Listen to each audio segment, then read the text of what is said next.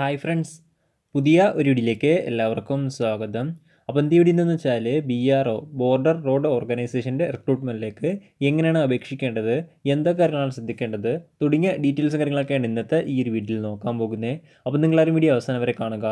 അതുപോലെ തന്നെ നിങ്ങളെല്ലാവരും ബി ആർ ഒയുടെ റിക്രൂട്ട്മെന്റ് വന്ന കാര്യത്തെ പറ്റിയിട്ട് അറിഞ്ഞു കാണും എന്ന് ഞാൻ വിശ്വസിക്കുന്നു.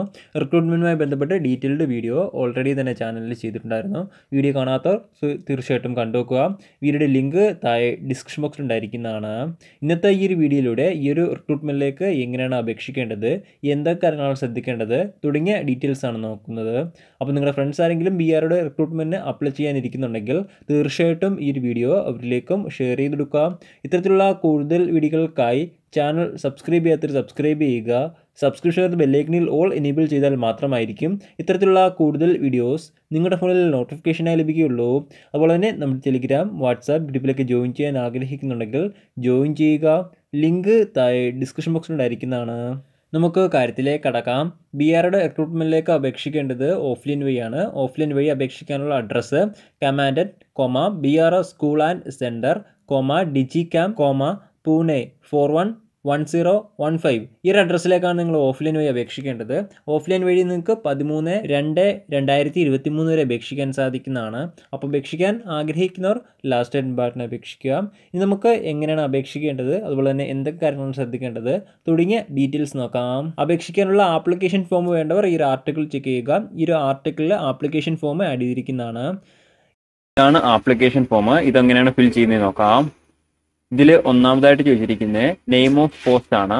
അപ്പൊ നിങ്ങൾ അപേക്ഷിക്കുന്ന പോസ്റ്റ് ഏതാണോ ആ ഒരു പോസ്റ്റിന്റെ പേര് അവിടെ ആദ്യം എഴുതുക. അതുപോലെ തന്നെ വലത്തെ സൈഡിലായിട്ട് മൂന്ന് മാസത്തിന് അടുത്തുള്ള പാസ്പോർട്ട് സൈസ് ഫോട്ടോ ഒട്ടിക്കാൻ ആവശ്യപ്പെട്ടിട്ടുണ്ട്. അപ്പൊ നിങ്ങളുടെ പാസ്പോർട്ട് സൈസ് ഫോട്ടോ മൂന്ന് മാസത്തിന് അടുത്തുള്ളത് അവിടെ ഒട്ടിക്കുക. ഇനി അടുത്ത രണ്ടാമതായിട്ട് ചോദിച്ചിരിക്കുന്നത് serial number of post advertisement അതായത് നോട്ട് ഒഫീഷ്യൽ നോട്ടിഫിക്കേഷനിൽ നിങ്ങൾ അപേക്ഷിക്കുന്ന പോസ്റ്റിന് നൽകിയിരിക്കുന്ന സീരിയൽ നമ്പർ എത്രയെന്നാണ് ചോദിച്ചിരിക്കുന്നത് അപ്പൊ അത് ആ ഒരു കോളത്തിൽ എഴുതുക. ഇനി അടുത്ത മൂന്നാമതായിട്ട് വരുന്നത് റിക്രൂട്ട്മെന്റ് സെന്റർ ആണ്. അത് ഓട്ടോമാറ്റിക് ആയിട്ട് തന്നെ അവിടെ ഉണ്ടായിരിക്കുന്നതാണ്. ഇനി അടുത്ത നാലാമതായിട്ട് വരുന്നത് കാറ്റഗറി ഇൻ വിച്ച് അപ്ലൈഡ് അതായത് ഏതൊരു കാറ്റഗറിയിലേക്കാണ് അപ്ലൈ ചെയ്യുന്നത് എന്നാണ് അപ്പൊ നിങ്ങൾ അപ്ലൈ ചെയ്യുന്ന കാറ്റഗറി ഏതാണോ അത് അവിടെ ടിക്ക് ചെയ്യുക. അടുത്തായിട്ട് വെച്ചിരിക്കുന്ന വെയിറ്റേജ് മാർക്കാണ് ഇപ്പൊ നിങ്ങൾക്ക് എന്തെങ്കിലും വെയിറ്റേജ് മാർക്കോ കാര്യങ്ങളൊക്കെ ഉണ്ടെങ്കിൽ അത് അവിടെ ഫിൽ ചെയ്യേണ്ടതാണ്. ഇനി അടുത്തായിട്ട് വെച്ചിരിക്കുന്ന മൈനോറിറ്റി കമ്മ്യൂണിറ്റി ആണോ എന്നാണ് അപ്പൊ അത്തരത്തിലുള്ളവർ എസ് എന്ന് കൊടുക്കുക ഇല്ലെങ്കിൽ നോ കൊടുക്കുക. എസ് എന്ന് കൊടുക്കുന്നവർ അത് ഏത് കാറ്റഗറി ആണെന്നും കൂടി മെൻഷൻ ചെയ്തിരിക്കേണ്ടതാണ്. ഇനി അടുത്ത ഏഴാമതായിട്ട് ചോദിച്ചിരിക്കുന്നത് ഇ ഡബ്ല്യു എസ് ആണോ എന്നാണ് അപ്പൊ അത്തരത്തിലുള്ളവർ എസ് എന്ന് കൊടുക്കുക ഇല്ലെങ്കിൽ നോ കൊടുക്കുക. ഇനി അടുത്ത എട്ടാമതായിട്ട് ചോദിച്ചിരിക്കുന്നത് നെയിം ഓഫ് കാൻഡിഡേറ്റ് ആണ്. അതായത് നിങ്ങളുടെ പേരാണ് ചോദിച്ചിരിക്കുന്നത്. അപ്പൊ നിങ്ങളുടെ പേര് അവിടെ എഴുതുക. ഈ അടുത്തായിട്ട് വെച്ചിരിക്കുന്ന ഫാദേഴ്സ് നെയിം ആണ്. അപ്പൊ നിങ്ങളുടെ ഫാദറിന്റെ പേരും അവിടെ എഴുതുക. അതുപോലെ തന്നെ നിങ്ങളുടെ പേരും ഫാദറിന്റെ പേരും എഴുതേണ്ടത് ക്യാപിറ്റൽ ലെറ്ററിലാണ് ഇനി പത്താമതായിട്ട് വെച്ചിരിക്കുന്ന ഡേറ്റ് ഓഫ് ബർത്ത് ആണ്.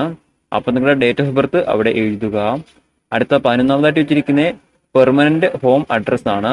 പിൻകോഡ് സഹിതം അവിടെ എഴുതേണ്ടതാണ്. അതിനുശേഷം അടുത്ത പന്ത്രണ്ടാമതായിട്ട് വെച്ചിരിക്കുന്ന പ്രസന്റ് പോസ്റ്റൽ അഡ്രസ് ആണ്. അപ്പൊ അതും അവിടെ എഴുതുക. ഇനി അടുത്തതായിട്ട് വെച്ചിരിക്കുന്ന ആപ്ലിക്കേഷൻ ഫീസിന്റെ ഡീറ്റെയിൽസ് ആണ്. അപ്പൊ നിങ്ങൾ ഫീസ് അടയ്ക്കുമ്പോൾ കിട്ടുന്ന ഓൺലൈൻ റെഫറൻസ് ഐ ഡിയും അതുപോലെ തന്നെ ട്രാൻസാക്ഷൻ ഡേറ്റും കാര്യങ്ങളെല്ലാം ഇവിടെ ഫിൽ ചെയ്തിരിക്കേണ്ടതാണ്. അതുപോലെ തന്നെ ഫീസ് അടച്ച ശേഷം ലഭിക്കുന്ന റിസിപ്റ്റിന്റെ കോപ്പി ഈ ഒരു ആപ്ലിക്കേഷന്റെ കൂടെ അയച്ചിരിക്കേണ്ടതാണ്. അതിനുശേഷം താഴേക്ക് വരുമ്പോൾ കുറച്ച് എസ് ഓർണോ ഓപ്ഷൻസ് ആണ് കാണാൻ സാധിക്കുക. അപ്പോൾ കുറച്ച് ചോദ്യങ്ങൾ അവിടെ ചോദിച്ചിട്ടുണ്ട്. അപ്പോൾ അതിനെല്ലാം ജസ്റ്റ് ഒന്ന് ആൻസർ ചെയ്യുക. അതിനുശേഷം താഴേക്ക് വരുമ്പോൾ എഡ്യൂക്കേഷൻ ക്വാളിഫിക്കേഷൻസ് ആണ് ചോദിച്ചിരിക്കുന്നത് അപ്പോൾ നിങ്ങൾ എഡ്യൂക്കേഷൻ ക്വാളിഫിക്കേഷൻ എന്തൊക്കെയുണ്ടോ അതെല്ലാം അവിടെ നൽകാൻ സാധിക്കുന്നതാണ്. പത്താം ക്ലാസ് മുതലുള്ള എല്ലാ ക്വാളിഫിക്കേഷനും നിങ്ങൾക്ക് ഇവിടെ നൽകാൻ സാധിക്കുന്നതാണ്. അടുത്തായിട്ട് വെച്ചിരിക്കുന്നത് ടെക്നിക്കൽ എഡ്യൂക്കേഷൻ ആണ്. ഇപ്പൊ നിങ്ങൾക്ക് എന്തെങ്കിലും ടെക്നിക്കൽ എഡ്യൂക്കേഷൻ ക്വാളിഫിക്കേഷൻ ഒക്കെ ഉണ്ടെങ്കിൽ അതും അവിടെ നൽകാൻ സാധിക്കുന്നതാണ്. അടുത്ത പതിനേഴാമതായിട്ട് വെച്ചിരിക്കുന്നത് ഡ്രൈവിംഗ് ലൈസൻസിന്റെ ഡീറ്റെയിൽസ് ആണ്. അപ്പൊ അത് ഉള്ളവർ മാത്രം ആ ഒരു സെക്ഷൻ ഫിൽ ചെയ്താൽ മതി. ഇനി അടുത്ത പതിനെട്ടാമതായിട്ട് ചോദിച്ചിരിക്കുന്ന എക്സ്പീരിയൻസിന്റെ ഡീറ്റെയിൽസ് ആണ്. ഇപ്പൊ നിങ്ങൾക്ക് എന്തെങ്കിലും എക്സ്പീരിയൻസോ കാര്യങ്ങളൊക്കെ ഉണ്ടെങ്കിൽ അത് അവിടെ ഫിൽ ചെയ്യേണ്ടതാണ്. അടുത്ത പത്തൊമ്പതാമതായിട്ട് ചോദിച്ചിരിക്കുന്ന ബി ആർ ഒ ലേബേഴ്സ് അല്ലെങ്കിൽ സി പി എൽ എക്സ്പീരിയൻസ് ഉള്ളവർക്കാണ്. അപ്പൊ അത് ഉള്ളവർ മാത്രം അത് ഫിൽ ചെയ്താൽ മതി. അതിനുശേഷം താഴേക്ക് വരുമ്പോൾ ചെറിയൊരു ഡിക്ലറേഷൻ ആണ് കാണാൻ സാധിക്കുക. അപ്പൊ അത് ജസ്റ്റ് ഒന്ന് വായിച്ചു നോക്കുക. അതിനുശേഷം താഴേക്ക് വരുമ്പോൾ ഇടത്തെ സൈഡിലായിട്ട് പ്ലേസ് ഡേറ്റ് കാണാൻ സാധിക്കുന്നതാണ്. അപ്പോൾ അവിടെ പ്ലേസ് ഡേറ്റ് എഴുതുക. അതിന് തൊട്ടപ്പുറത്തായിട്ട് തന്നെ ലെഫ്റ്റ് ഹാൻഡ് തംബ്രഷൻ എന്നൊരു സെക്ഷൻ കാണാൻ സാധിക്കുന്നതാണ്. അതിന് മുകളിലായിട്ട് ലെഫ്റ്റ് ഹാൻഡ് അവിടെ പതിച്ചിരിക്കേണ്ടതാണ്. അതിനുശേഷം വലത്തേ സൈഡിലായിട്ട് സിഗ്നേച്ചർ ഓഫ് കാൻഡിഡേറ്റ് എന്നൊരു സെക്ഷൻ കാണാൻ സാധിക്കുന്നതാണ്. അതിന് മുകളിലായിട്ട് സൈനും ചെയ്തിരിക്കേണ്ടതാണ്. ഇത്തരം കാര്യങ്ങൾ ചെയ്യുമ്പോൾ ആപ്ലിക്കേഷൻ ഫോം ഫില്ല് ചെയ്ത് കഴിഞ്ഞിരിക്കുന്നതാണ്. അതിനുശേഷം താഴേക്ക് വരുമ്പോൾ അഡ്മിറ്റ് കാർഡ് എന്നൊരു സെക്ഷൻ കാണാൻ സാധിക്കുന്നതാണ്. അപ്പോൾ ഈ ഒരു സെക്ഷനിലെ കുറച്ച് ഡീറ്റെയിൽസ് ഫിൽ ചെയ്യേണ്ടതുണ്ട്. ആദ്യമായിട്ട് ചെയ്യേണ്ടത് ഫോട്ടോ ഒട്ടിക്കുക എന്നാണ്. അപ്പോൾ നിങ്ങളുടെ പാസ്പോർട്ട് സൈസ് ഫോട്ടോ അവിടെ ഒട്ടിക്കുക. അതിനുശേഷം താഴേക്ക് വരുമ്പോൾ നിങ്ങളുടെ നെയിം ആണ്. അപ്പോൾ നിങ്ങളുടെ പേര് അവിടെ എഴുതുക. ഇനി അടുത്തായിട്ട് ചോദിച്ചിരിക്കുന്നത് നിങ്ങളുടെ ഫാദറിന്റെ പേരാണ്. അപ്പോൾ നിങ്ങളുടെ ഫാദറിന്റെ പേര് അവിടെ എഴുതുക. അതിനുശേഷം തൊട്ട് താഴെ അഡ്രസ്സ് ആണ്. അപ്പോൾ നിങ്ങളുടെ അഡ്രസ്സ് കറക്റ്റായിട്ട് തന്നെ അവിടെ ഫിൽ ചെയ്തിരിക്കേണ്ടതാണ്. അതിനുശേഷം താഴേക്ക് വരുമ്പോൾ at the time of submission of application form എന്ന സെക്ഷൻ കാണാൻ സാധിക്കുന്നതാണ് അപ്പോൾ അതിന്റെ നേരെയായിട്ട് signature left hand thumb impression എന്നൊരു ഓപ്ഷൻ കാണാൻ സാധിക്കുന്നതാണ്. അപ്പോൾ അവിടെ നിങ്ങൾ സൈനും ലെഫ്റ്റ് ഹാൻഡ് തമ്പ് ഇംപ്രഷനും പതിച്ചിരിക്കേണ്ടതാണ്. ഇത്തരം കാര്യങ്ങളാണ് ഈ ഒരു സെക്ഷനിൽ ചെയ്യേണ്ടത്. അതിനുശേഷം താഴേക്ക് വരുമ്പോൾ ഷെഡ്യൂൾഡ് കാസ്റ്റും അതുപോലെ തന്നെ ഷെഡ്യൂൾഡ് ട്രൈബൽ കാൻഡിഡേറ്റ്സിനുമായിട്ടുള്ള പേപ്പർ കാണാൻ സാധിക്കുന്നതാണ്. അപ്പൊ ഈ ഒരു section S C S T candidates മാത്രം ഫിൽ ചെയ്താൽ മതി. ഇതെന്താണെന്ന് വെച്ചാൽ ഇത് നിങ്ങളുടെ കാസ്റ്റ് തെളിയിക്കാനുള്ള സർട്ടിഫിക്കറ്റ് ആണ്. അതിനുശേഷം താഴേക്ക് വരുമ്പോൾ ഒ ബി സി കാൻഡിഡേറ്റ്സിനും അവരുടെ കാസ്റ്റ് തെളിയിക്കാനുള്ള സർട്ടിഫിക്കറ്റ് കാണാൻ സാധിക്കുന്നതാണ് അതും ഫിൽ ചെയ്തിരിക്കേണ്ടതാണ്.